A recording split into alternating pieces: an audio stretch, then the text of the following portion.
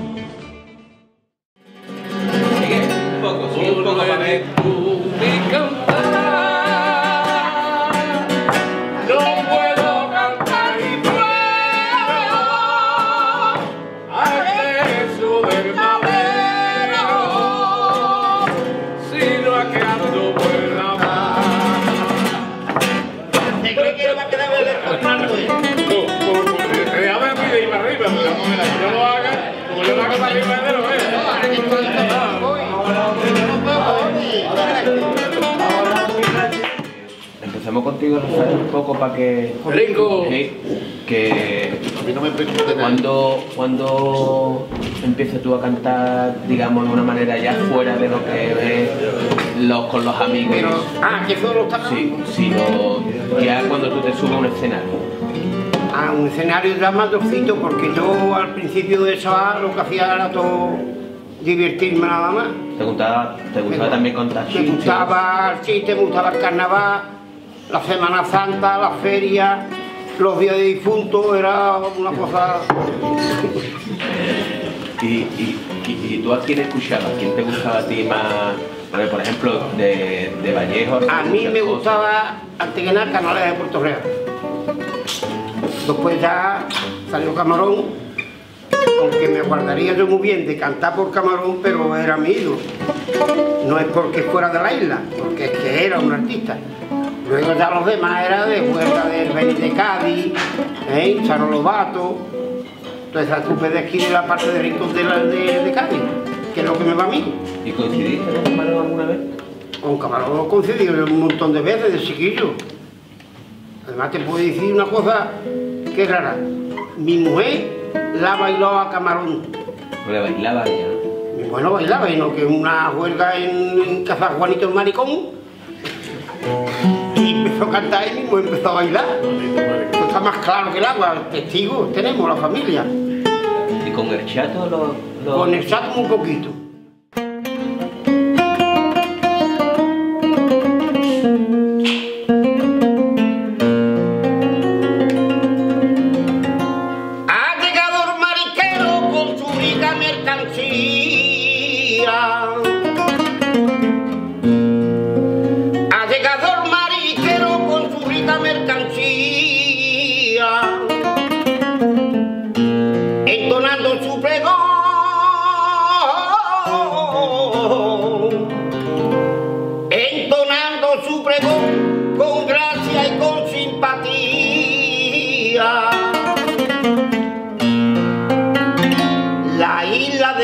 Fernando y en un bonito pregón que lo canta el marito por la calle de la Unión. Traigo la aldea fresca, la boca y el camarón. Por eso que saliste niño, papá, que saliste niño, papá, que saliste tu barco.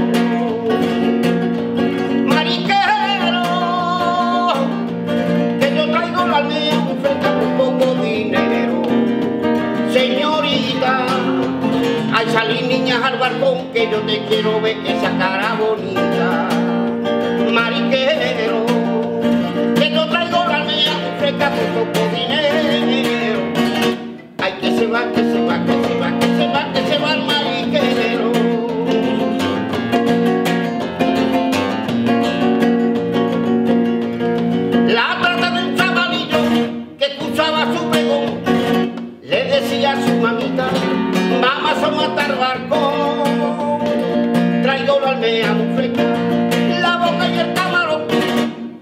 Saliste niño, papá que saliste niño, papá que saliste tu barco.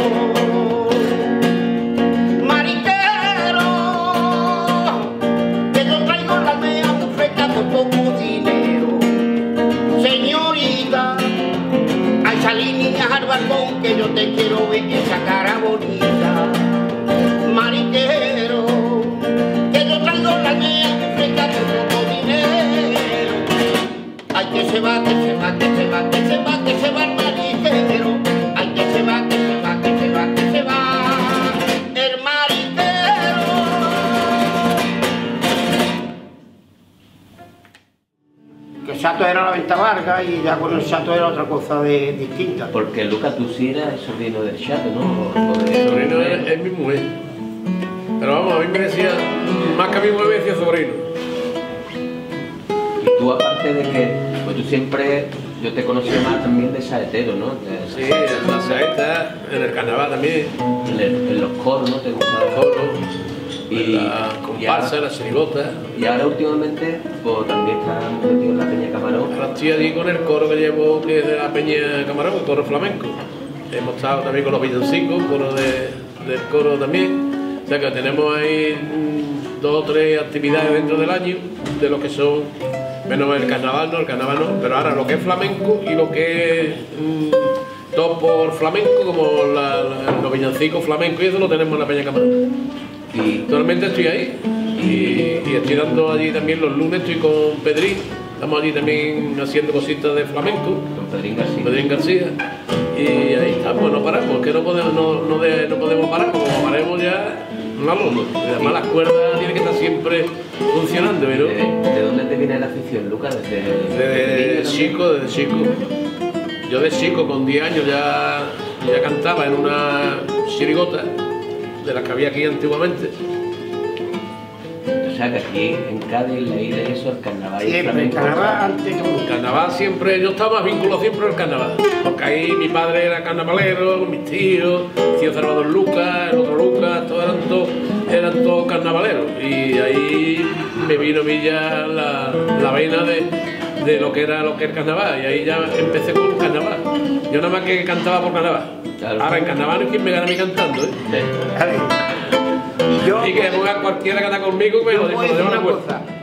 En la isla creo que no hay nadie que haya salido en todas las modalidades de carnaval, como soy yo. Chirigota, comparsa, coro. Cuarteto. Charanga. Cuarteto no.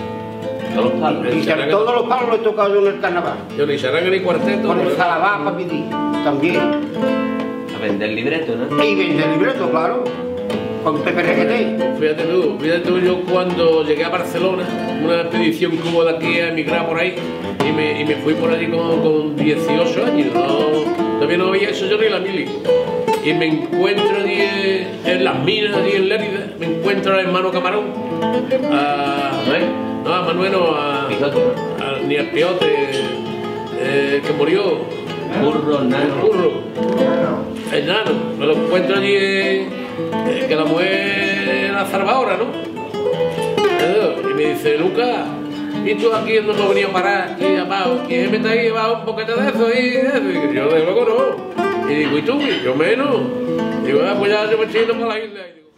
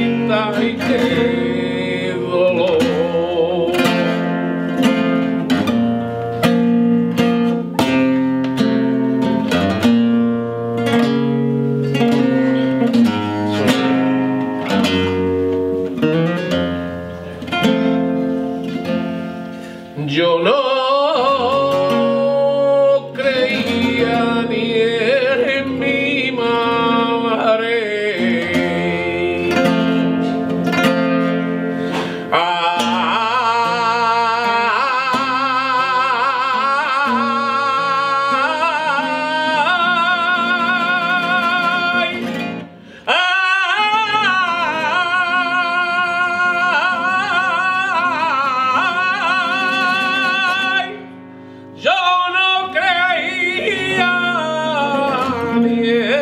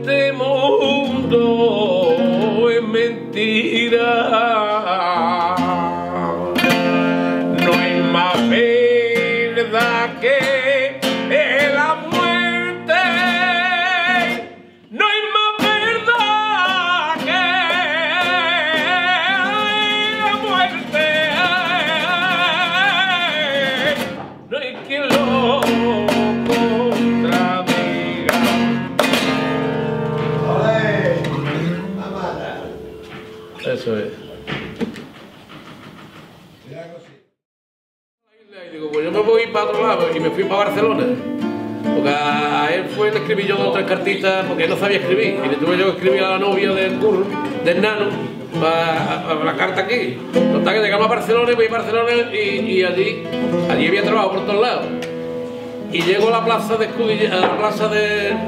a la plaza grande, donde está la, Rambla. Llego a la Rambla de las Flores y me encuentro allí a dos o tres de Cádiz de, comparsa que han salido los EG, el otro, el otro, me encuentro al solo de la isla, que, el solo de la isla, si algunos se acordarán de él, el solo de la isla que, me lo encuentro en Barcelona, me, lo encuentro, me encuentro yo unos pocos allí, Y digo, ¿y yo aquí qué pasa? Aquí, ponte a cantar aquí con nosotros ya. ¿Tú sabes algo de carnaval? Digo, sí, venga. Y allí empezábamos a cantar en la rambla las flores y a recoger el sol con la gorra. Venga, ¿a dónde vamos? ¿Dónde vamos a ir? Aquí al porrón, allí al porrón. Vamos al porrón. Y eh, estaba para que yo metido en el barrio todo aquel malo de allí de Barcelona. Y para eso que se entera mi, mi, madre, porque mi padre, yo antes de irme de aquí, mi padre lo había operado. Y lo dejé en residencia, pero como tenía que irme a la excursión, yo lo dejé allí. Mi madre un telegrama a la pensión de yo parado. Vente para acá que tu padre ha muerto. ¿Qué dice? Yo unos nervios allí, cogí cuatro paquetes, uh, ya estoy yo en la isla. Uh. Vine aquí a la isla y me encontré a mi padre en el cine curro viendo una película. ¿Qué te pasa? Y menos mal, porque mi madre había enterado que yo estaba en el barrio ese malo. Y para no, y pa, y pa no hacer yo un metido en el lío ese, me, me mandó. Eh, ¿eh? ¿Se quedó contigo? Se quedó conmigo, pero gracias a ella, yo después de venir. Y me salvé. Yo tengo que decir otra cosita, que en tiempo de Pepe Requete, cuando la Feria Sevilla íbamos en las comparsas los marisqueros, íbamos a Sevilla todos los años. Pero un año nos dio por ir a Málaga. No se me olvida, empezamos a cantar en la caseta Cacerolán, solamente de champán. Y tardamos un cuarto de hora en meternos en la cárcel a todos. Nos metieron en la cárcel. ¿Qué hiciste para, para terminar? No, que no se podía cantar, como no se, entonces había el gobernador civil, había gobernador y había que pedir permiso. Pues nos metieron en la cárcel. Así que Por cantar. salimos todos corriendo. Y sin embargo, Carlos, tú que eh, con el carnaval no, no has tenido relación, ¿no? Tú has sido más de flamenco también, ¿no? Yo salí en el carnaval en el año 76 en los servidores del Sultán. La música era de Paco Mora. La dirección era del gordo este que vivía en La Bazán, que no me acuerdo cómo se llama, el Celín, que tiene un, un kiosquito en la Asociación de Vecinos de La Bazán, un accidente y se quedó con él. Y ese era el, el- ese era el bombo. El chicla era el caja. Y Bueno, el año y- 76, y- servidores del sultán. Y la, la guitarra flamenca, ¿cómo, ¿cómo llega a ti? Como pues, tú llevas muchos años acompañando a mucha gente de aquí de la isla, ¿Cómo llega? que yo la guitarra desde chiquitito me encanta. ¿no? Y el, el primero que me dio mi clase de guitarra fue Manolo Vargas, hermano de Juan Vargas que vivía frente al aldeán, patio vecino que hay allí, frente al fondo. Vivía Manolo, me llevó mi padre de chiquitito. Y ese fue el primero que me dio a mi clase de guitarra flamenca. La guitarra iba dentro del el maletero de mi cinquita mil. ¿De todos lados? iba a todos lados. Pero tú has hasta ahora acompañado al Trini, has acompañado El a mucha Trini- gente de aquí de la isla, ¿no? El Trini empezó. El Trini, yo le acompañé al Trini. Acompañado a María Ángeles Marín, de chiquitita. He acompañado a la Chispa, a Claudia. Ahora, claro, cuando llegan al nivel donde llegamos, yo soy el primero que digo hasta aquí. Claro. Eh, reconozco que, que no, que hay que tener más nivel y yo el nivel ese lo tengo. Y aquí hay Pero- mucho nivel en la, en la guitarra, ¿no, Carlos? Aquí en la isla. Aquí hay muchos chavalitos que, que te hacen con la guitarra virguería. Y se la comen. Y, y de hecho, eh, está Jaime, me acuerdo de Jaime cuando yo estaba, cuando, yo empecé otra vez, cogí la guitarra, y donde, lo donde primero fui con la guitarra cuando la retomé fue a la- al coro de la Peña El Chato. Yo se metió conmigo, No, ¿no? ahí estaba Aguilar de Vejez, Aguilar, estaba Aguilar, Aguilar. Antonia Saucedo, Sí, sí, cuando salí yo. estaba... Cuando yo salí allí dos o tres años, Sí, pero ese año no salí, no, no salí yo. con el Luque. De guitarra las mejores, estaba Juani, estaba el Lucas, Manolito Gallego, Juan José Alba, que eran tenían era. así y no sabía ni con la guitarra y fíjate cómo saltía ahora.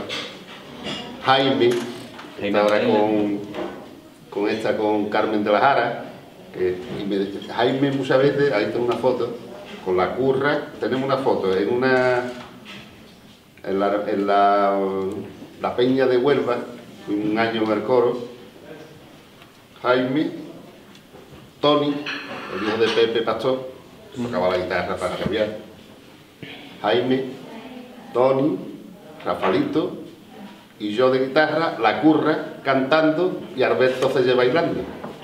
Era un- ahí la tengo. Y, ¿Y, y qué papel creéis que habéis desempeñado aquí las peñas? Para lo que es el aficionado, eh, por ejemplo la peña Chato, que es la más antigua, ¿no, Luca? O ahora la peña Camarón. Chato- O aquí la peña Trini, que estamos ahora mismo. Allí han pasado muchos chavales jóvenes y, de- y han, salido, han triunfado un montón de ellos. Está diciendo, eh, ha salido el El Guani, el Trini empezó eh, en la pastora. Y el Trini lo diseñó en No lo de calle, el gordito, que cantaba y empezaba a tocar pito, Tiene mucha gracia. Ujú. que era desgraciado. Y el Nico, que estaba en la Asociación de Vecinos de las Mujeres allí en la pastora, era el que le tocaba al Trini. Y mucho allí. Y claro, él cogió eso y no podía, no podía ir a tocar y tal. Y Carlos, eh, tocale tú al Trini. Y te va a coger, cuando salga eso le toca tú y te va a coger. Y nos fuimos, no íbamos. Joselito el de los Ajos, el gitano que vivía, que era vecino de la tertulia flamenca de del castillo, que vendía ajo, el Trini y yo no íbamos a todos lados. Porque el capullo este no podía ir. Y el Trini era un espadachí y ahora está que, que está metido en manteca como, la, como hacienda. Pero bueno, que unos ratos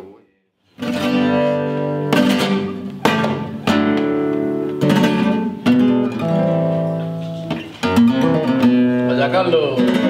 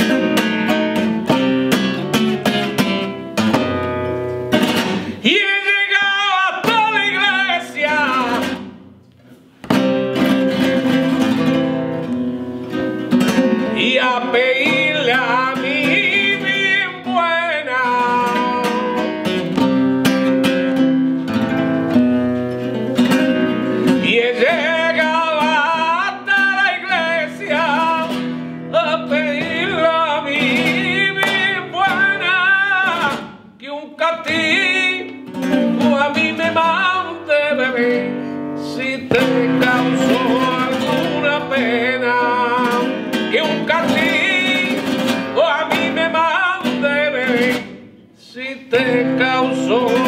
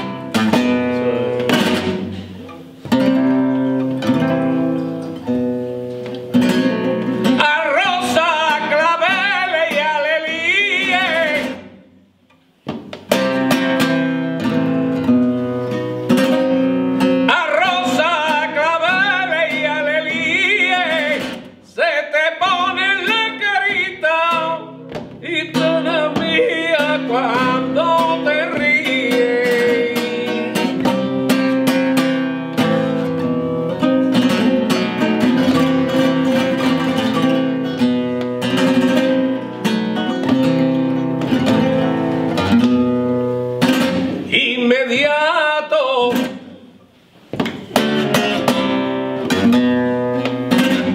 Y en ese pocito inmediato, donde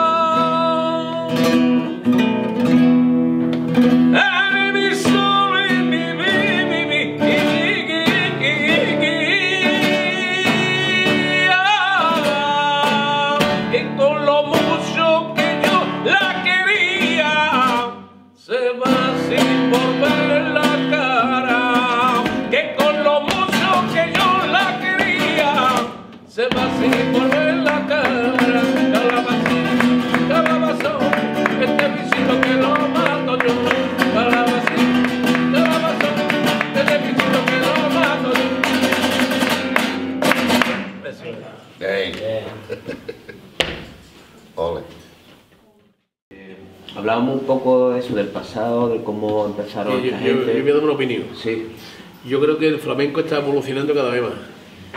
¿Por qué? Porque hoy hay mucha más tecnología que había antiguamente.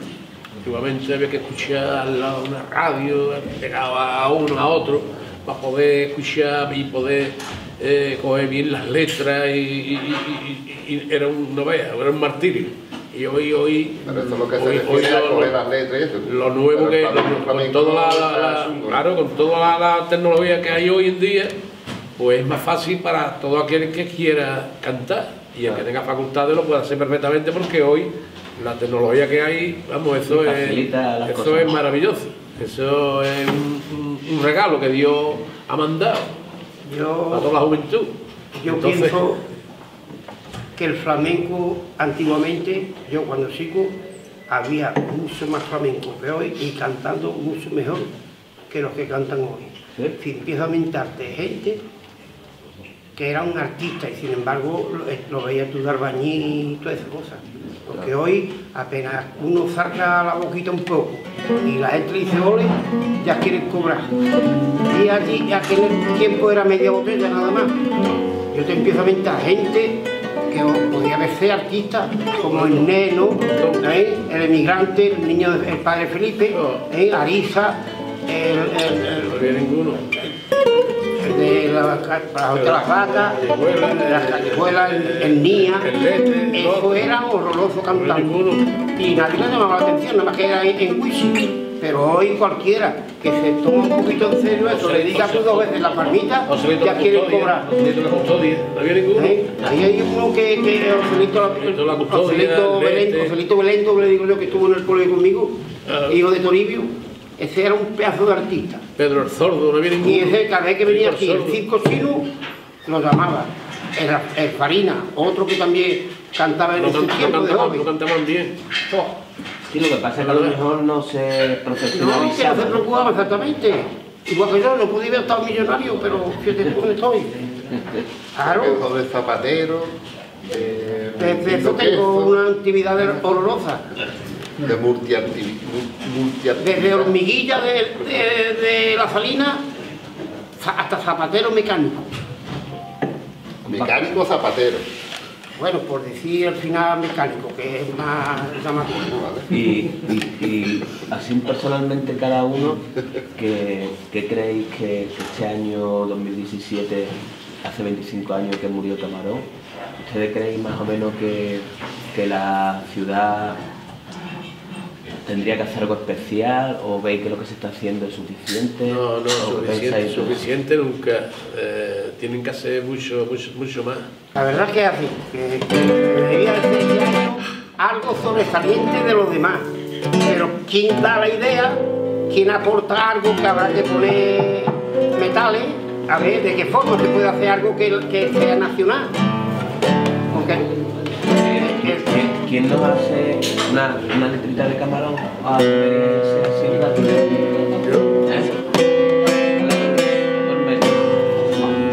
Pero Una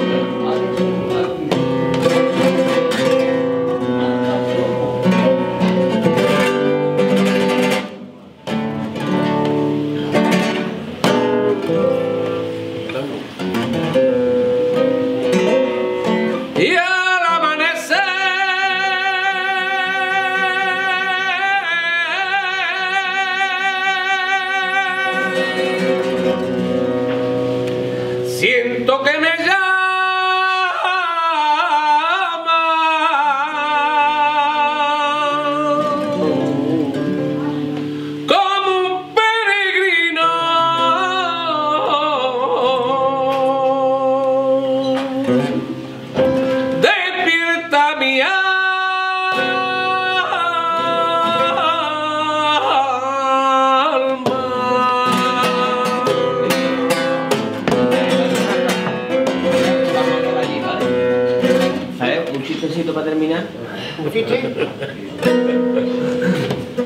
No es el que no se muy verde, que el no se muerde. Verde no, Uno, amarillo. uno que iba con el brazo así, tieso, por la calle, y le pregunta a otro, que yo, ¿dónde va con este brazo tan tieso?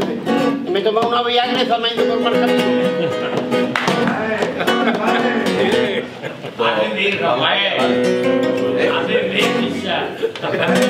La puntata è nel Ay.